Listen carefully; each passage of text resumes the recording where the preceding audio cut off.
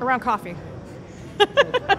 I mean, really, seriously, I think that the uh, work of uh, quote unquote like innovation or modernizing government or pushing that kind of change is is really one of hearts and minds, and it really requires um, an interpersonal um, understanding of the work that's being performed. One, I think that there's not um, a lot of dimension and communication about what those different roles and functions are, let alone how they might work together.